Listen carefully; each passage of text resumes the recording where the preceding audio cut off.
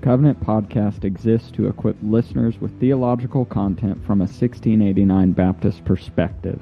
We pray you find this resource edifying, faithful to Scripture, and Christ exalting. Now, let's get started. Welcome to the Covenant Podcast. Austin McCormick here with my co host, Jimmy Johnson. And today we have the privilege to speak with Dr. Jon English Lee. So, welcome to the podcast, brother. Thank you. I'm glad to be here. And the topic for our conversation today is going to be Robert Haldane and the Sabbath. Uh, I know that this is a topic that you're interested in, but before uh, we start getting into this topic, you are a first time interviewee to our show. It is a privilege to finally get to have you on. Can you just uh, begin our conversation by telling our audience a little bit about yourself, perhaps uh, whatever you want to include in that, maybe uh, how you became a follower of Christ, where you're serving at now, and um, we're we're 1689 here. Uh, I don't. We'll, we'll let you speak to your confessional affirmation, but can you tell our audience a little bit about yourself? Yeah, I'd be happy to. I am. Um, my name is Jon English Lee, and just because someone will be confused by that name, uh, Jon English is a double name, and my father's name was John, and my grandfather's first name is English, and they put them together for me. So I'm Jon English. Um, and I uh, I came to know the Lord as a relatively young man. I was in uh, fourth grade, I think, um, and uh, came to faith and was baptized, and then didn't have a lot of um, good churches. We moved around a lot and never really plugged into many good churches. And it wasn't until college that I really was able to plug into a church that doctrinally um, was robust and, and really was able to uh, interested in answering the questions that I had. And so it was in college that I really grew in my faith and uh, particularly uh, the reformed expression of the Christian faith and came to Baptistic convictions out of that. And then um, I was doing some ministry here in Montgomery, Alabama, which is where I live. And um, the Lord called me out of that to go to seminary and uh, was able to do an MDiv and then a PhD at Southern Baptist Theological Seminary in Louisville. And uh, I studied systematic and historical theology. I was able to write a dissertation on the Sabbath, uh, specifically looking at the question of is weekly Sabbath rest a creation ordinance? So that's kind of a, a, crucial hinge point of the whole Sabbath debate. And so I wanted to zero in on that question.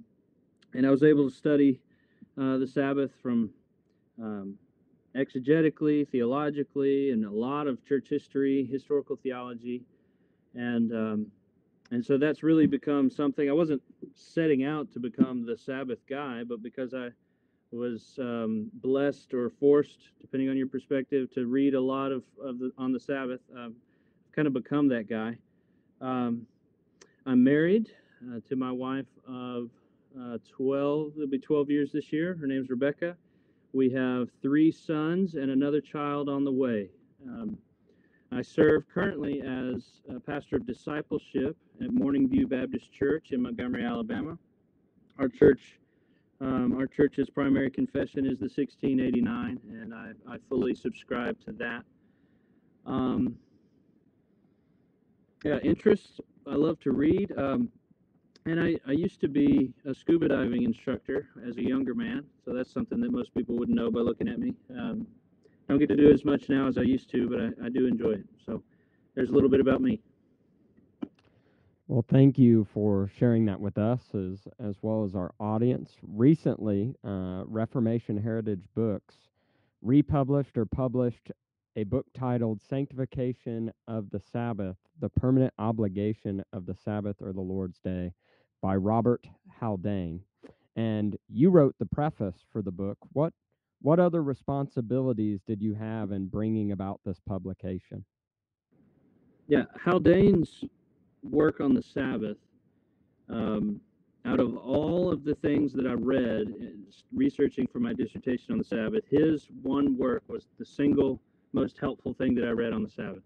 Um, I discovered it uh, in a passing footnote that somebody had had remarked about it, and when I chased down that footnote, um, I really was helped more, especially his arguments about um, the transfer of the day from Saturday to Sunday, and the perpetuity of the Sabbath commandment underneath the new covenant. He was exceptionally helpful on on those two questions. And so, having come out of the dissertation and discovered this work, I said we need to republish this. It hasn't been published as a standalone document or treatise that I could discover uh, for a long time. It was originally published somewhere around the 1850s as an appendix to his larger commentary on the book of Romans, which most people are familiar with out of the Geneva commentary series from Banner of Truth. Excellent commentary on Romans. Originally published as a three volume set, and this was an appendix that he wrote. It's quite an, you know, it's almost like a John Owen type appendix. Very, very long. Um, but it's it, we pulled it out and we re, we modernized the language. I did it with the help of a, a, friend of mine named Cody Float. He and I went through and modernized the language, um, and kind of formatted it a little bit. And I proposed it to Joel Beeke. I said, "Hey, can we can we republish this? It's really helpful." And he loved the idea, and so um, we got it reformatted. And then they asked me to write a um, biographical and theological introduction to this work. Where, where did it come from? Who is this Haldane guy? Why is it important today? And so I wrote that. I did did some research and I wrote uh, a pretty lengthy preface, um, much of which they decided to chop out. Um, but I'm going to have that part that we chopped out. I'm going to have it published, Lord willing, out of the uh, Journal for the Institute of Reformed Baptist Studies, JIRBS, with Richard Barcellos. Um, hopefully, it'll be coming out this year in their journal. Um, so, I wrote the biographical and theological introduction to Haldane's text and tried to leave Haldane's text alone as much as we could, only modernizing punctuation and a few words, maybe footnoting a few words that are strange to us today. So that's what I did for this republication. Well, you mentioned in that last answer that one of the questions that you were uh, asked was, Who was this guy? Or at least you had that question as you were thinking about writing the preface. And so we want to ask you, Who is this guy? Uh, yeah. Can you tell our audience a little bit about who Robert Haldane was? Yeah, I, I knew very, very little about Haldane when I started studying his theological works. And when I read his story, I was deeply encouraged. Uh, Haldane was born in 1764, and he was the son of a noble family in Scotland. Um, he joined the Navy, and when he came back from uh, some some time in the Navy, he got married and eventually settled down to what he thought would be a life of nobility there in England. And this was right about the time of the the French Revolution happening. He was kind of interested in new ideas, especially ideas that would bring about uh, equality for man and things like that. And right about that time, his brother James came to know the Lord. And between James's conversion and a, a pastor there named David Bogue, um, Haldane eventually came to know the Lord in 1795. Um, Haldane then, with great zeal, um, tried to serve the kingdom of God. And he, he put a bunch of his money, he sold things, he sold land and, and houses and, and put a bunch of money into printing tracts and printing Bibles and sending them overseas. He would be uh, an open air preacher. He himself would go out. In fact, it said that he, he preached so often and so vigorously that he would have to stop and basically go on bed rest so that his throat could heal. Um, he eventually was going to go on a just a, a month or two long trip to the continent. Um, and while he was in Paris, he was persuaded to go visit Geneva. And when he got to Geneva, um, what he discovered was pretty disappointing. It was not the Geneva um, that John Calvin had left. It was not the Geneva full of Reformed theology it was the Geneva that had been overtaken um, by by liberal theology. And um, the story goes that he got there and he was supposed to go on this tour of a mountain there, and the old man that was supposed to take him got sick, and so this young student came and volunteered to be his tour guide. And the student was a student of the divinity school there. And throughout the course of the day, Haldane was kind of asking the, the student questions, and the question was peppering Haldane with answers, such that the the student was kind of fixed. He, he was he was stuck on this man named Robert Haldane. And so the next day, this student came back to visit Haldane. And the next day he came back and he brought fellow students with him. And they, they kept coming and kept coming. And, and, and as the story goes, there was a long table in the house in which Haldane was staying. And there would be a dozen or more students that would be surrounding this table each night, late into the night, with Bibles in English and in French and in Latin and in Hebrew and in Greek. And they would spend the evening debating a, a theology. And these students had never heard anybody talk about the Bible and about doctrine like Haldane was doing. They were raised in very humanistic seminaries. They hadn't heard somebody talk about the doctrine of sin and talk about the law of God and its perpetuity. In fact, there was um, one of the young men, um, Merle d'Aubigné, who wrote a um, a well-known now Banner publishes it in two volumes, History of the Reformation. Uh, he was one of the men that would be sitting around the table, and and he finally remarked to Haldane one night. He said, "I, I can now see your doctrine of sin in the Bible." And Haldane responded, Well, yes, my good man, but do you see it in your own heart? And he later recounted how piercing that question was and how it, God used it to lead to his own conversion. Um, and while Haldane was in Geneva, the chair of the School of Theology there uh, became very agitated by this theology that his students were learning from Haldane. And he, he tried to run Haldane out of town. He tried to get it to where the students couldn't go preach in the pulpits anymore because they didn't want this theology, this Reformation theology, to leak out. Um, it was kind of similar to Haldane's experience was kind of similar to Calvin, who, you know, approximately 300 years before had meant to pass through Geneva, but somebody had told him, no, you need to you need to stay here. You need to work. God's going to work through you, and God eventually did that for him. Um, Haldane eventually went back home to Scotland. He had a very prolific writing ministry. He wrote a, several things on uh, the inspiration and authority of Scripture, against the Apocrypha. He wrote several things against the Sabbath. Uh, he, he lectured and taught and eventually published his um, commentary on Romans, which has been, I don't know how many copies of that are around, many, many of them. Um, and so he was, he was a stalwart defender of warm evangelical Calvinism, and and he was a godly man that that that I felt very much a kindred spirit with as I've studied him. So I I was excited to learn more about him.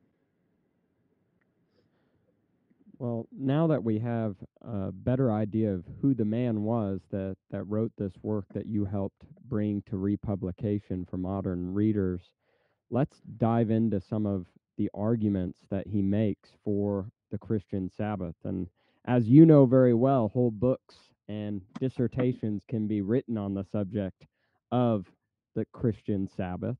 But we're just going to focus in on a, a, few of his his various arguments or a few of the things that he brings up in the book. So, first, what is Haldane's argument for the Sabbath being under both the Old and New Covenants? Yeah, he makes several points uh, which are overlapping. Um, the first is that he sees it built into creation in Genesis 2 when God rested on the seventh day. It was a day that was blessed, just like man was, just like marriage. And it's something that we, because of this blessing, ought to consider it for perpetual observance. Similarly, that, that interpretation is confirmed because the Sabbath and its observance predated the giving of the law at Mount Sinai in Exodus 20. If you read Exodus 16, where uh, Moses is talking to Israel about the gathering of manna, they were supposed to gather enough on six days and not gather any on the seventh day because the seventh day is a Sabbath to be kept holy. There's, there's no explanation there. It's, it's assumed knowledge that Israel in Exodus 16, prior to the giving of the law, would understand what the Sabbath was. There's no, there's no debate, there's no question.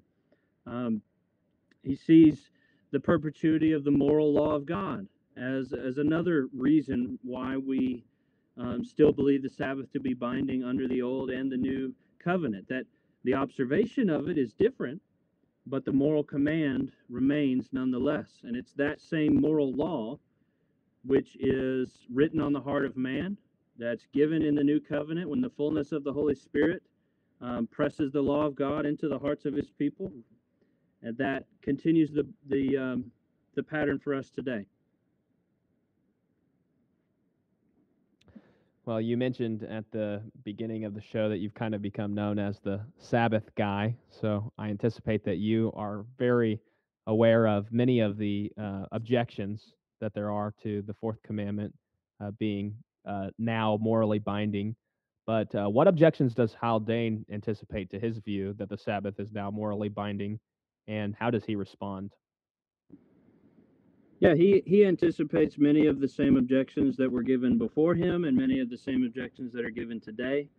Uh, one of which was the supposed non-observance of the Sabbath by the patriarchs. That is, there's there's no, according to the argument, there's no explicit reference to the Sabbath being observed from Genesis 2 until Exodus um, Exodus 20 or Exodus 16, I guess. Um, However, he, he, he cuts that off and says, well, that that's first of all, it's an argument from silence. It makes assumptions that just because it's not explicitly mentioned, therefore they're not observing it. That's an assumption that's not borne out in the text. Further, we we see the creation ordinance of marriage quickly thrown out by mankind in favor of polygamy. And if the if the depravity of man related to marriage is so quickly lost, then it shouldn't shock us that that mankind would reject weekly Sabbath keeping, that creation ordinance prior to the giving of the law.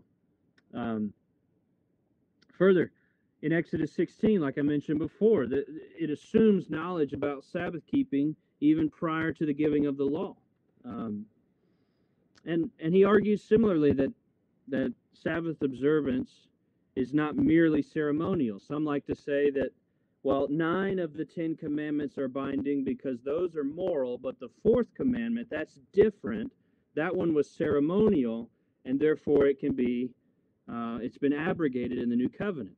And uh, he, he argues that by saying, no, no, no. Let's look at how the moral law is different from the ceremonial and civil law. He says, what, which of the laws were written by the finger of God Himself. That would be the moral law. Which of the laws were written on stone? That would be the moral law. Which of the laws were placed in the Ark of the Covenant? That would be the moral law. And so there's a there's a very clear distinction between the ten words, the Decalogue, the Ten Commandments, and the, the judgments or the, the things that flow out or downstream of the moral law. Um, and then he, he goes to the New Covenant too, the New Testament. He says, when Jesus is asked questions about the Sabbath, where does Jesus go? He doesn't go to Exodus 20. He doesn't go to Exodus uh, 16. When Jesus is asked about the Sabbath in Mark chapter 2, for example, he goes back to Genesis 2. He says the Sabbath was made for man, not man being made for the Sabbath. And so he, he argues that even Jesus sees that there is a Sabbath principle that predates the Mosaic law, that predates the giving of the law in Exodus 20, that goes all the way back to the way that God has written into creation, into the very fabric of creation, this rhythm of six and one that is for man's good and for God's glory from the very beginning. One of the areas I believe that you said was most helpful from this work for you personally was where he talked about the change of days from from Saturday to Sunday. So what is the or what does he teach us about these things in particular, the switching of the days? Yeah, Haldane um, he helpfully or is helpful to me. Uh, he doesn't merely go to the couple of places in the New Testament that mention the Lord's Day, like Revelation 1:10. Um, he doesn't merely go to Acts 20, verse 7, I believe, when they were gathering together each week.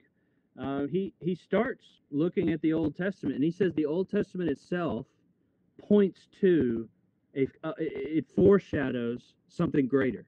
It's pointing to something. And so if we read our Old Testament correctly, we would have assumed that some change is coming, that, that this, this Sabbath theology is building and it's escalating towards something greater. So, for example, he says, look at Exodus 20, the giving of the fourth commandment. And that fourth commandment says, Remember the Sabbath day and keep it holy, because on that day the Lord himself rested. And so it points back to creation. But when you go read Deuteronomy and you look at the fourth commandment there, it's not exactly the same. It says, Remember the Sabbath day and keep it holy, because the Lord redeemed you out of bondage in Egypt.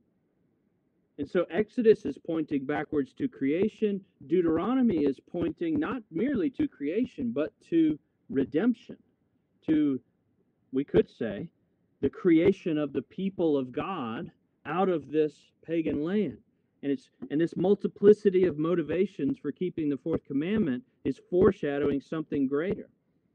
Similarly, he argues that the changing of the day, um, or that for the um, the Old Testament anticipating this change of day, he looks at typology, and this is one of his um, more unique looks at it, uh, more unique contributions to Sabbath theology. He talks about, for example, uh, the language of eighth day.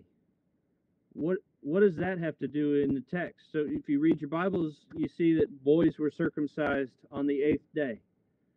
Well, what's the significance of that? Priests were uh, anointed on the eighth day. Well, what, what, if it were seventh, we'd see significance in that, maybe going back to completion or going back to the, the culmination of the creative week. Uh, but eighth doesn't seem to have any significance. When he argues that all of these eighth day languages, this eighth day theology, was pointing forward, pressing us forward to an eighth day to come, which would be the resurrection of Christ, which he says is the eighth day, or counting from the old creation, the first day of a new creation week. So, in the resurrection with, of Christ, who is our first fruits of the resurrection, the New Testament, we have start off the, the inauguration of a new age, a new creative work that's being done.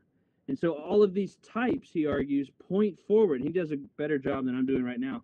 But he they, he argues that they build and they point forward to this resurrection day. They're anticipating a new day. And that day, that day of change is fitting. He says the, the in the old covenant, they worked and worked and worked and worked, and they look forward to Saturday.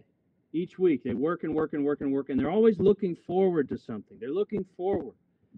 Well, in the new covenant, the thing to which the people of God have been looking that resurrection day, that, that, that new creation, has come in Christ's resurrection on the Lord's day, on that Easter morning.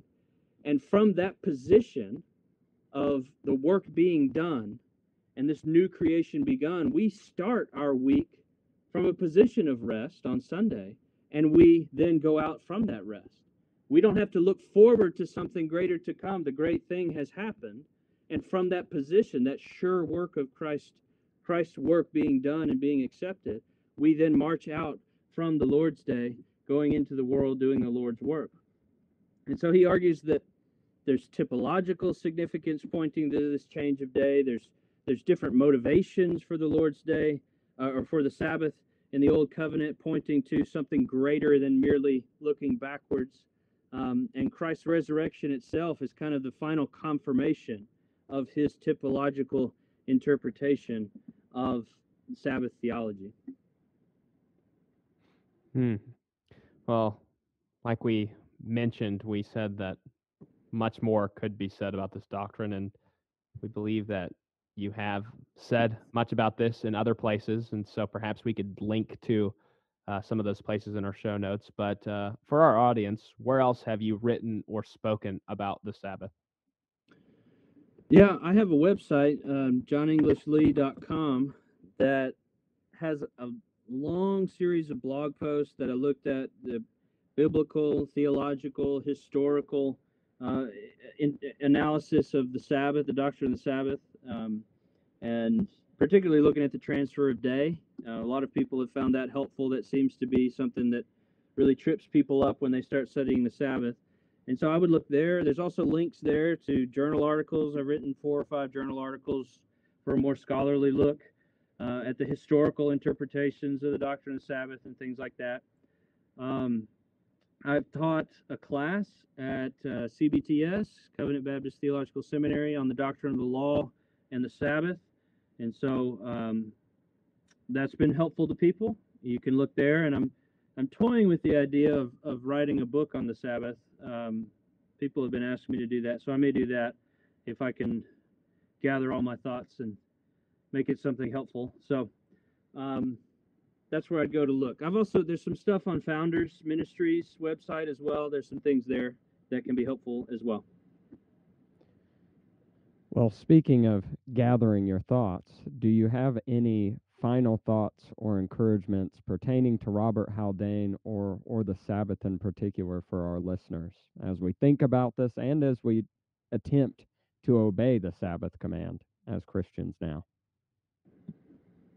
Yeah, I, I was really encouraged looking at Haldane's biography, at his personal history. Haldane was not a trained scholar. He he didn't go to seminary. Um, he was saved later in life than than many people. Um, he was in many ways just a man, but he was a man who was steeped in Scripture and a man who sought to be faithful to what was in front of him.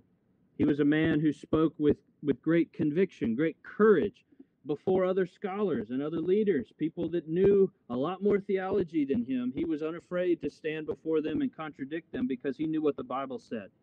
And God used him mightily. And, and I want to encourage our, our listeners that, you know, seminary degree does not make one right. Um, that simple faith in the Bible and confidence in God's word is enough to be used mightily by God for great things in his kingdom. So um, press into God's word and trust that it is our sure refuge and strength. Amen. And we have been talking with Jon English Lee about Robert Haldane and the Christian Sabbath. Thank you again, Jon English, for coming on and talking with us in this episode. Yeah, thanks for having me. And to our listeners, we wish you grace and peace. For additional content, check out our blog ministry at covenantconfessions.com. Also, keep up with our social media accounts on Facebook, Instagram, and Twitter. Next, head on over to iTunes and leave us a review. Lastly, thank you for listening to the Covenant Podcast. Grace and peace to you.